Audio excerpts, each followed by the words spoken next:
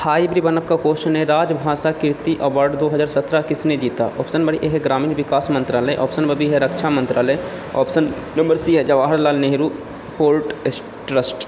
तो इस क्वेश्चन का ऑप्शन नंबर सी ही इस क्वेश्चन का करेक्ट आंसर हो जाएगा Jawaharlal Nehru port trust. So thank you